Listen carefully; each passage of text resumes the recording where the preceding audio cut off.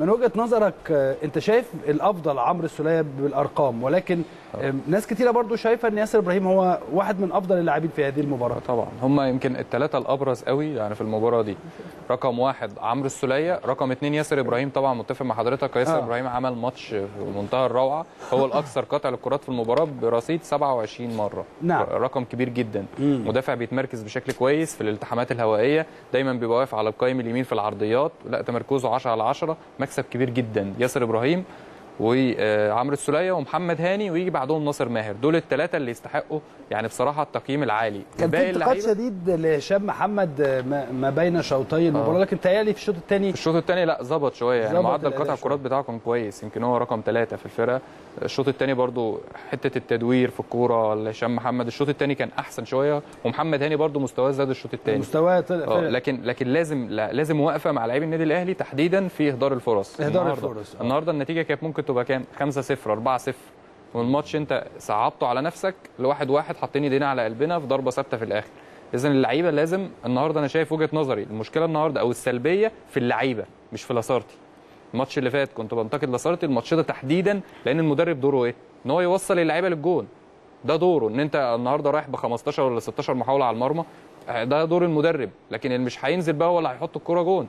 ده أخطاء ورعونة من اللعيبة خاصة تحديدا رمضان صبحي حسين الشحات اجاييه ناصر ماهر برضو في بعض الأوقات. لكن دول بصراحة ضيعوا فرص ما تضيعش. يعني في فرصة كانت ما بين رمضان صبحي لو لو نجيبها حتى واجاييه بيتعازموا على بعض.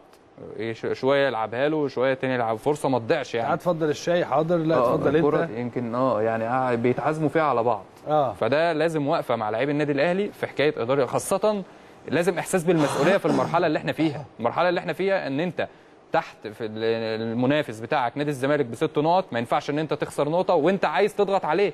إن خلاص الأسبوع ده أسبوع مصيري. فأنت مباراة زي دي مباراة مصيرية. إن أنت بتقربك من المنافس خلت الفرق النهارده ست نقط. إن شاء الله يعني يحصل تعثر لنادي الزمالك في الأسبوع ده. ال- ال- الفرق يقل أكتر. فلازم اللعيبة تحس بالمسؤولية. أنت مش مش بتلعب ماتش ودي مش بتلعب مثلا أنت مش مش حاسم الصدارة بفرق 12 نقطة وبتلعب. لأ انت أنت اللي تحت وأنت اللي عايز تقرب وبنشوف إهدار فرص. النتيجة اتحولت من واحد كانت هتبقى من 4 0 ولا 5 0 كانت هتبقى 1 1 طب ليه؟ يعني لازم تمام. لازم وقفة كبيرة مع اللعيبة. تمام دي برضو إحدى الفرص الضائعة في آه، المباراة. زي ما حضرتك شايفين 3 على 2 نعم الأخيرة. دي في الثواني الأخيرة. في في كرة قبلها بقى اللي هي اتعزموا فيها. آه لا اللي هو بصها له واداها له آه. تاني. آه. دي يعني بصراحة فرص غريبة بتضيع وواضح يعني مش مش المرحلة ديت المرحلة دي محتاجة إن أنت تستغل الفرصة. يعني لو اللاعب بيجي له فرصتين حتى تسجل واحدة لكن مش بيجي لك اتنين تضيع الاثنين يعني مثلا رمضان صبحي النهارده مثلا راح على الجون مرتين مضيع الاثنين حسين الشحات راح على الجون مرتين مضيع الاثنين ناصر ماهر راح على الجون ثلاث مرات مضيع اثنين هي دي اللي أنت بتتكلم عنها. هي دي آه. دي كور أنا مش عارف اجاي ما شيب. حطهاش ليه؟ وبعدين ده راح عايزة عزمها تشيب دي كده عايزة تشيب خفيف من. أو العالم حتى عايز- الزاوية البعيدة على شمال نايم في الجول الأرض كده وفارد جسمه شيلها خفيفة من كرة فوق. اللي هي زيدان لما لعبها في كأس أمم الأفريقية آه. ل- لمحمد أبو تريكة.